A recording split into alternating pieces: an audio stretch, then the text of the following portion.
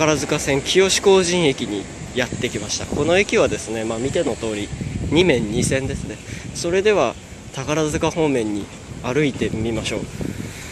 この駅はですね正直あの工人さんありますけれども、まあ、時代の流れなんでしょうね。三が日とかですねあんま人来ないんですよね。正直まあ住宅街の駅といった感じです。まあ急行はちゃんと止まるんでそんなに不便な駅じゃないかな。特急は来ませんけどねここは。というかもうここ特急結構前になくなってる昔はねありましたけどね。何年前かなあれ。10年ぐらい前かな。駅の構造は特別 あのはい言うことはないですこれが待合室ですね。待合室入ってみましょうか。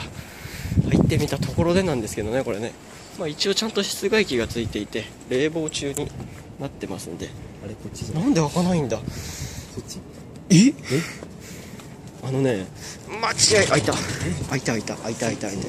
開いた開いた。はい、えー宝塚線清志工人駅の待合室に入りましたけれども。うーん中はですねまあそれなりにこれプラスチックかな？あプラスチックですね。プラスチックの板が、ね、なってて、えークーラーもですねこれダイキン製のクーラー完備してあります。まあ中にはですねこういった航空戦力も多少は見受けられます、えー落書き等は確認できないですね。それじゃホーム戻りますよ。重いなこの扉な。ちょっとねこれ開け 開け閉めするときちょっと力いりますねこれね。それでですねこれあのねこれこれ宝塚線とね千里線かな？にはあるんですよ。これパッと光ってねあの出してくれるんですよね。超簡易型電光案内板。もう何年も前だな。私が小学生の時はまだ走ってましたからね快速急行ね。でホームですけれどもアスファルトが引いてあってホームの縁はこの通りですね。あの滑り止めがついていて黄色の展示タイルももうおなじみですね。そして駅名表とこれがお手洗いになります。お手洗いはね、まあ、あのプライバシーの関係で中には入りません、まあ、お察しくださいということで中には入りませんけれども。うーんそうですね。なんかあんまりコメントしづらい駅なんですけれども。とりあえず言うとしたら途中であのあっちの方にに天井がないぐらい。で一応ラガールショップもありましてですね。えっ、とこれコントできたっけ？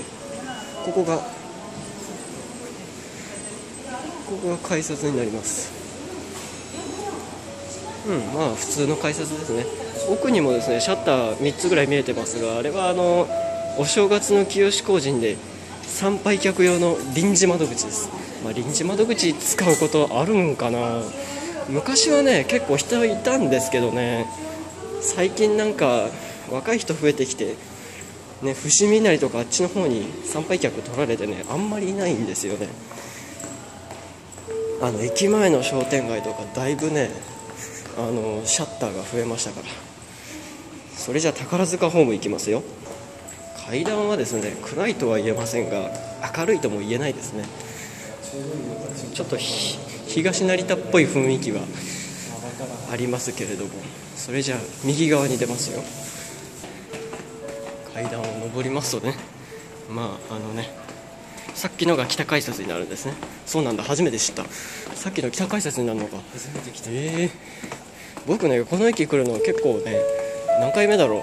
結構来てるんですよちっちゃい頃から。けど降りてるんですかここ。いやほとんど昔の記憶は残ってないですね。いや何回か降りてるんだけど何改札とかほとんど覚えてねえんだよな。あやっぱそこまでね。うん見ない見ないそんなの意識してないもんだって清志工人駅南改札ですね。こっちから出るとですねこっちは割と栄えてるんですよねこの駅前が。これ見えねえかな。これね目の前にねコープがあるんですよ。ほら。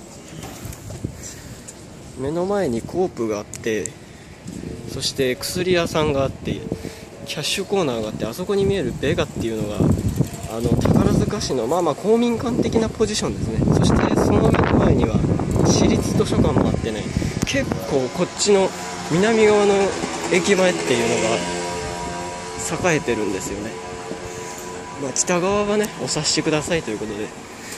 さっき言ったっしそう。いいさっき申し上げた通りシャッターが多いと。まあねあのうん。工人さんの時期になれば人来ますからそれじゃあですね再び階段を降りて向こうのホーム移りますよ。しかしなんか土曜日って感じの階段ですけれどもなんであんなとこにコンセントついてんだ？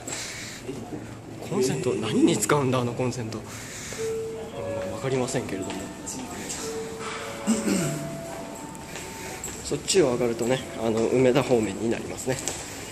それじゃあ北改札口の方向かっていきましょう。これこれこれがですね皆さんポストに見えるようですがあのあのね。あのお察しくださいなあの本や雑誌等々をですねあの市の方にお任せするといったポストでですね、えっと、この辺だとこの宝塚市とで伊丹市で見ることができますので皆さんぜひ一度、あのご自分のですねお察しくださいな本を入れてみてはいかがでしょうか。またはいまあそんな感じで清志工人駅だったですけれどもまああの突起事故のない普通の駅ですね。隣には 9003F が来てますけれども 9003F が宝塚線でも一番退職がひどい9000系として有名ですね次の駅がですね目布神社になります。それじゃあ目布神社行きますよ。